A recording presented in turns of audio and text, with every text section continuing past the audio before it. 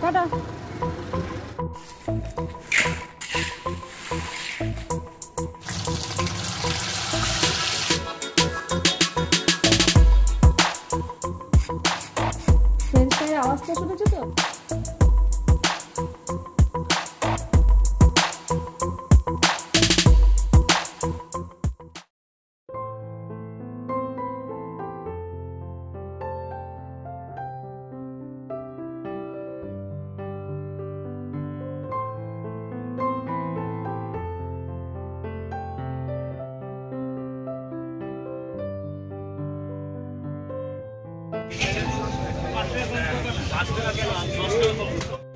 দেখো, হালকা ডিম হলে দাও, নাহলে ডিম ছাড়া দাও।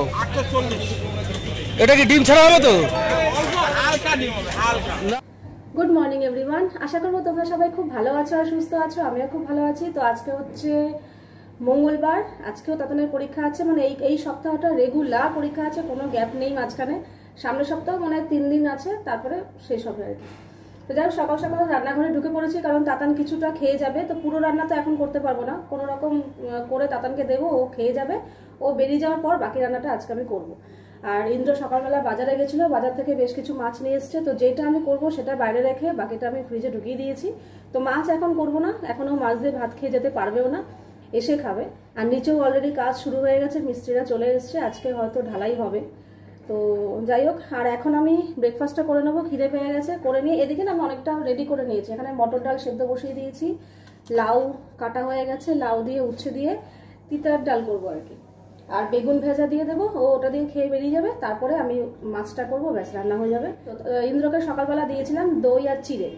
তোকে দিয়েছি, ও পুরোটা খেতে পারেনি, এই যে এইটুকু আবার রেখে দিয়েছে। তো আমিও দই চিড়েই খেতাম আজকে, তো আর নতুন করে আমার জন্য নেব না, এখানে যেটুকু আছে আমার হয়ে যাবে। তো ব্রেকফাস্টটা করে নিয়ে তারপর ঝাপাঝাপ রান্না শুরু করব।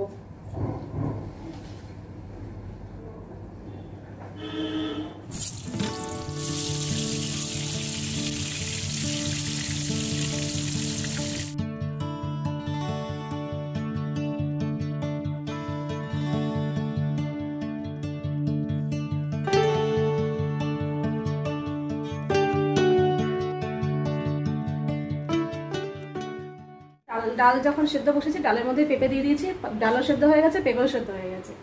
আর এখন ডালটাকে লাউ দিয়ে একটু সেদ্ধ হোক, লাউগুলো সেদ্ধ হলেই সোমবার দিয়ে দেবো, তাহলে রেডি হয়ে যাবে। আর ভাতও এখানে হয়ে গেছে মানে তাতানকে আমি খেতে দিতে পারব। আর প্রথমে না আমি কুকারের মধ্যে লাউগুলো দিচ্ছিলাম দিচ্ছিলাম, দেখলাম বাবারে, অনেকটা লাউ, কুকারের মধ্যে হবে না। তারপর লাস্টে এই বড় বাটিটার মধ্যেই লাউ ঢাললাম। আমাকে না রিসেন্ট ডাক্তার প্রচুর পরিমাণে জল খেতে বলেছে। তো এই দেখো, তোমরা অনেকেই দেখতে পাবে, আমার স্কিনে না বেশ কিছু, এই যে, এরকম টাইপের পিম্পল উঠছে, এই গালে, ওই গালে। ভাবলাম তাহলে চলো একটু ডাক্তার দেখিয়ে নেওয়াই ভালো। স্কিন স্পেশালিস্টদের প্রচণ্ড ভিজিট ভিজিট তো থাকেই প্লাস সময় দেওয়াটাও মুশকিল। তো এত সময় ভাই আমার কাছে নেই, আমি অত সময় দিতে পারব না। তো রিসেন্টলি আমি সার্চ করতে গিয়ে দেখলাম যে, একটা সুন্দর, দারুণ একটা অ্যাপ কিওর স্কিন অ্যাপ যেখানে ডার্মাটোলজিস্টদের দিয়ে তোমরা স্কিন দেখিয়ে ওরা তোমার স্কিনকে ভেরিফাই করে, দেখে, ভালো করে স্ক্যান করে তোমার স্কিনে যেই প্রোডাক্টটা লাগবে, ঠিক সেটাই তোমাকে দেবে। অনেকে ডাউনলোড করলাম, করে দেখলাম হ্যাঁ সত্যিই তাই ওখানে সাইন ইন করার পর। তো ডাইরেক্ট আমার সাথে ডার্মাটোলজিস্টদের সাথে কথা হলো চ্যাটিং চ্যাটের মাধ্যমে আর কি। আমাকে জিজ্ঞাসা করল, আমার স্কিন টাইপ কি? আমার নানা রকম, আমি কি প্রেগনেন্ট নাকি? কোনো রকম মানে যা যা, অনেক কিছুই প্রশ্ন জিজ্ঞাসা করল জাস্ট আমি অ্যান্সার দিয়েছি হ্যাঁ এই এই এই। আমার স্কিনের একটা ফটো নিতে বলল, সামনে থেকে সাইড থেকে। তো আমি দুরকমভাবেই ফটো পাঠালাম আর কি ফটো তুলে। ওখানেই সব কিছু অপশান আছে।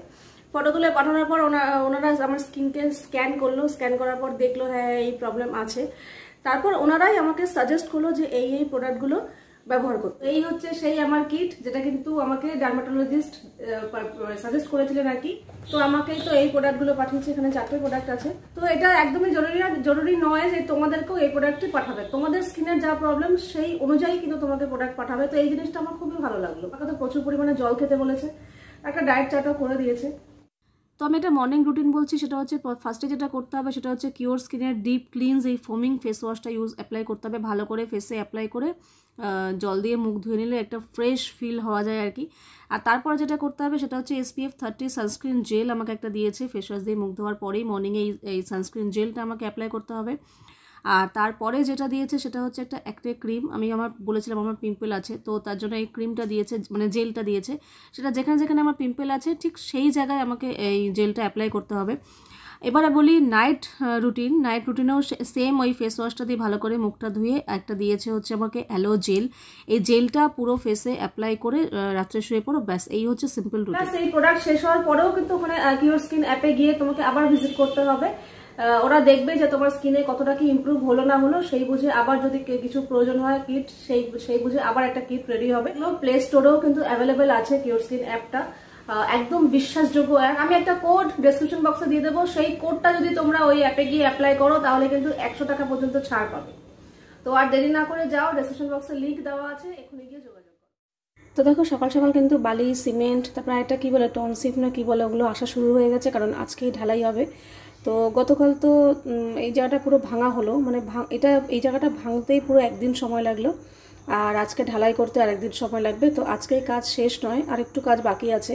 কারণ শুধু ঢালাই করে ছেড়ে দিলে তো পুরো ওই জায়গাটা একদম প্লেন থাকবে, তো তার জন্য গাড়ির চাকা স্লিপ হওয়ার সম্ভাবনা থাকবে, যেহেতু গ্যারেজের সামনে। তো তার জন্য একটা কি বিট না কি একটা ব্যবস্থা করবে যাতে গাড়ির চাকা স্লিপ না করে মানে একদম সমান হবে না আর কি। তো সেটা হবে, সেটা কবে হবে বলতে পারছি না। আজকে তো মোটামুটি ঢালাই হবে, তো ঢালাইয়ের কিন্তু এখানে তোড়জোড় শুরু হয়ে গেছে, খানিকক্ষণ পর থেকেই ঢালাই শুরু হবে। তো এটাই আমি তোমাদের দেখালাম। আর এদিকে আমি রান্নাবান্না বসিয়ে দিয়েছি অলরেডি ডালটা সোমবার দিলেই রান্না কমপ্লিট হয়ে যাবে অলরেডি বেগুন ভাজা হয়ে গেছে। তো এটা উচ্ছে উচ্ছে দিয়ে আর লাউ দিয়ে হচ্ছে মটর ডাল। উচ্ছেটা ভাজা ভাজা করেই ডালটা ঢেলে দেবো, ব্যাস, রান্না কিন্তু এদিকে আমার কমপ্লিট হয়ে যাবে। তো দাদা এদিকে খেতে বসে পড়েছে। ওকে ডাল বেগুন ভাজা আর এই লাউগুলোকে না একটু কেটে কেটে টুকরো টুকরো করে দিলাম কারণ প্রচণ্ড গরম ছিল। আর পেঁপে সেদ্ধ। এই দিয়ে ও এখন খেয়ে যাচ্ছে। হ্যাঁ পেঁপে সেদ্ধ খাওয়া হয়ে গেছে। আর এসে মাছ দিয়ে খাব। হেলমেট আমার হেলমেটটা বারান্দায় আছে। কেউ ইন্দ্রই দিয়ে আসবে ভালোই হয়েছে। খেয়ে নাও সব কিছুই হয়ে গেছে খেলেই ব্যাস কমপ্লিট আর ওদিকে ব্যাগ ট্যাগ নিয়ে পুরো না হ্যাঁ অবশ্যই খেতে হবে। হ্যাঁ? কেন? আমি না দিয়ে আসলে আলু সিদ্ধ ভাত খেতে ও হ্যাঁ এটা ঠিক। আজকে এখন যদি আমি বেরোতাম হয়তো আমি এত তরিজুত করে রান্না বান্না করতে সবই আমার কপাল। কাজও করব আবার এসে মেয়েকে দিয়ে আসব কি হয়েছে? একটু দিয়ে আসলে বাবা। ও তার মানে তুমি খাবারের জন্য দিয়ে এসছো? আমাকে ভালোবেসে না? আমি না খাবার মা ওই যে ওইটার জন্য না মা। এখন পে- এ মুশকিলে পড়ে গেছে কি বলবে? তোর সাথে কোনো ব্যাপার নেই হ্যাঁ, যত ব্যাপার সব আমার সাথে। মার সাথে তোর মা কি বলতো? হ্যাঁ, একটু সুযোগ খুঁজে। যে কি করে রান্নাটা না করা যায় স্কিপ করা যায়। এখন দিয়ে থেকে তুই তুইও তো খেতে পাচ্ছিস না না এইটা আমি অবশ্যই ওকে দিতাম। ওইটা না। তবে এইটা যেটা দেখতে পাচ্ছ ডাল বেগুন ভাজা। হ্যাঁ এই না ডাল আর বেগুন ভাজাই পেতে। ওই পরে যে মাছটা হবে সেটা আর হতো না। তাহলে? এখন পর্যন্ত না যাবে। হ্যাঁ না আগে থেকে রেডি হচ্ছে। আমি নিচে যাচ্ছি।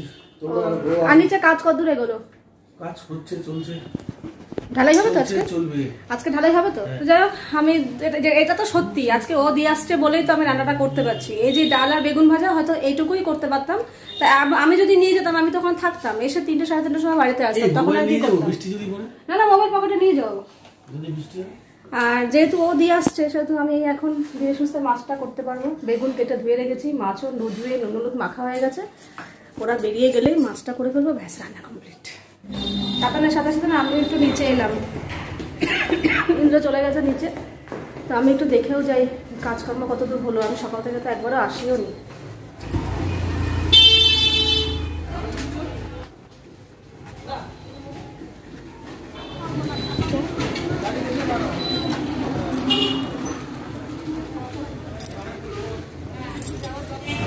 টাটা তো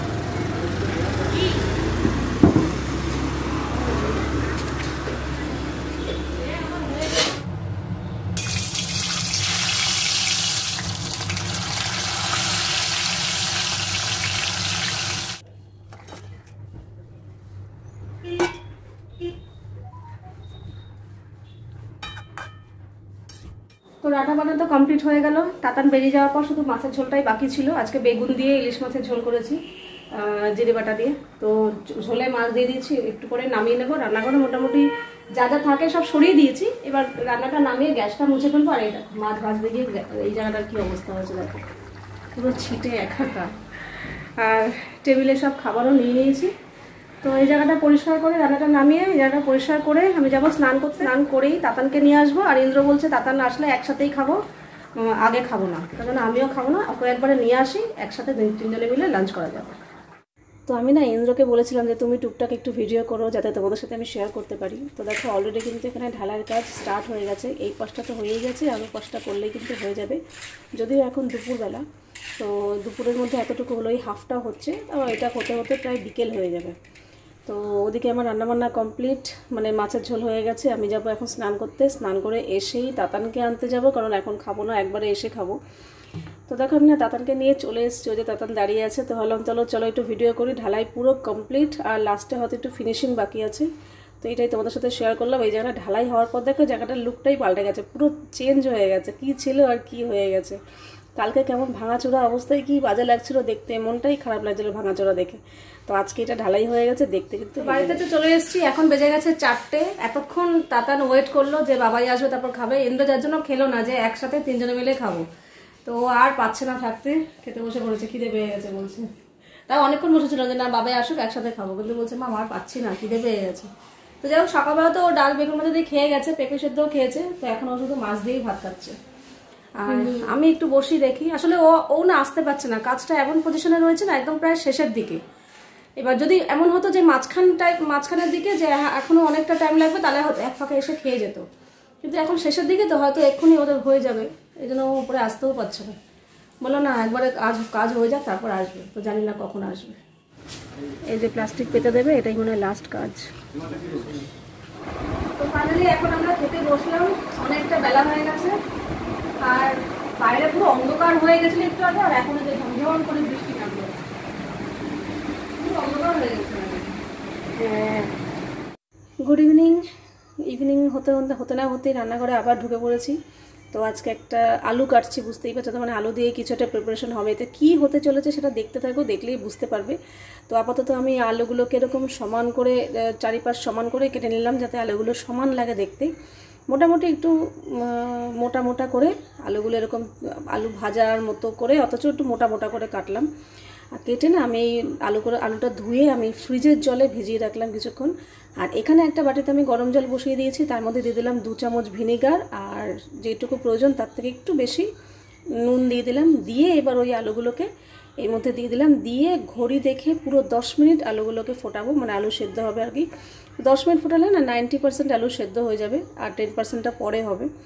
তো দশ মিনিট আমার হয়ে গেছে, আলুগুলোকে তুলে নিলাম, তুলে এরকম ছাঁকনিতে রেখে দিলাম যাতে আলুগুলো ঠান্ডাও হয়ে যায় আর জলটাও ঝরে যায়, পুরো শুকিয়ে যায় আলুগুলো। তো এইভাবে আলুগুলো রেখে দিলাম, মোটামুটি দশ পনেরো মিনিট রাখলেই হয়ে যাবে। আর তারপরে এদিকে আমি কড়াই বসিয়ে দিয়েছিলাম, পুরো হাই হিট মানে এর থেকে আর হিট হতে পারে না, এতটা হিটে তেল গরম করে ওই আলুগুলো দিয়ে দিয়েছি। দিয়ে বেশিক্ষণ না, আমি মোটামুটি এক মিনিট পুরোপুরি ভাজবো, ভেজে এবার আমি তুলে নেব, কারণ এরপরে আরেকটা ফ্রাই হবে। এটা ভেজে নিলাম, ভেজে আবার সেই ওরকম ছাঁকনির মধ্যে ছেঁকে রেখে দেবো, তাহলে তেলটাও ঝরে যাবে, আলুটা, আলুটাও একটু ঠান্ডা হয়ে যাবে। তারপরে যেটা করব আবার ওই কড়াইটা আমার বসানোই আছে জাস্ট একটুখানি পাঁচ থেকে সাত মিনিট পর আবার ওই তেলটা আমি আবার হাই হিট মানে গরম করতে দিয়ে দিয়েছি, দিয়ে আমি গ্যাস একদম কমিয়ে দিয়েছি। তেল পুরো হাই হিটে গরম করে তারপর গ্যাস কমিয়ে দিয়ে আবার ওই আলুগুলোকে দিয়ে দিলাম। দিয়ে একটু দু তিন মিনিট ভাজা ভাজা করেই কমিয়ে অবশ্যই দু তিন মিনিট ভাজা ভাজা করেই তুলে ফেলতে হবে। কিন্তু আমার একটা ভুল হয়ে গেছে তোমরা যদি করো তোমরা এই ভুলটা করো না। আমি একটু বেশি ফ্রাই করে ফেলেছিলাম যার জন্য লাল লাল হয়ে গেছে। এবার এর মধ্যে আমি নুন আর গোলমরিচ দিয়ে ভালো করে টস করে নেব ব্যাস আমার কিন্তু রেডি ফ্রেঞ্চ ফ্রাইয়ের আওয়াজটা শুনেছো তো? একদম ক্রিস্পি হয়েছে ক্রিস্পি ঠিক আছে দিয়ে ভালো আছে? আচ্ছা ঠিক আছে। এবার আমি একটা খেয়ে দেখি ক্রিস্পি হয়েছে না ভালোই লাগল খারাপ না সন্ধ্যাবেলা এরকম মাঝে মাঝে করে খাওয়া যেতে পারে পুরো সন্ধ্যাটা জমে গেল মিনিটের মধ্যে শেষ ফ্রেঞ্চ ফ্রাইস তুমি একটা খাও না আমি খাব I know you told your friend you're not okay. And tell me what's wrong and why you never said you felt that way. And guess you're trying to stay strong and fake a smile until I